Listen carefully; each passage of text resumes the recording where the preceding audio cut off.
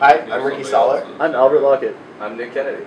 And I'm Graham McIntyre, and we're going to do a quick presentation of our student design project that we did this year, which was a digital music synthesizer.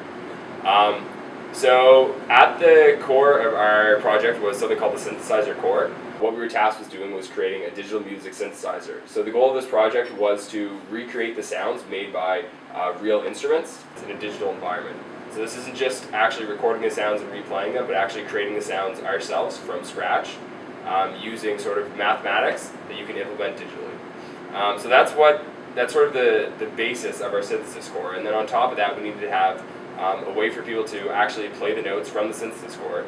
And so the two ways that we have that is that we have it that you can connect it via USB um, to any MIDI controller. Right now our MIDI controller is that piano.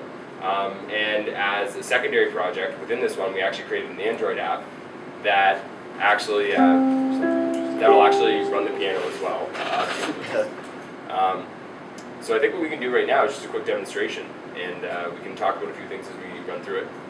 This is the user interface for our synthesizer project. As you can see, the user can select the piano, the harpsichord, or any of the other voices we've implemented. They can also select, select the input, whether they want their notes to come over the USB or by Bluetooth from our Android app. So this is our Android app, and uh, it commit, communicates uh, via Bluetooth um, and sends MIDI signals to our synthesis core, um, which select the notes and the note velocity uh, that the user is playing. So as you can see, the keys light, light up nicely. You can also select any of the voices and browse what Bluetooth devices are available. In the end, we ended up implementing uh, five instruments. We had a piano, a harpsichord, a guitar, a clarinet, and a flute. So yeah, in the end, we were very happy with the final outcome of this project. We think we accomplished a lot, and we definitely learned a lot throughout the entire semester.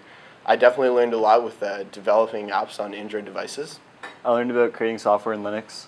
Uh, I had a lot of fun doing all the Bluetooth and MIDI communication between devices because that was really cool to learn about. And I had a lot of fun just uh, actually creating the, the sounds that came out of the computer. Uh, that was some really cool stuff. So yeah, this is a really great team learning environment. Uh, we hope you enjoyed our demo, and that's all for today.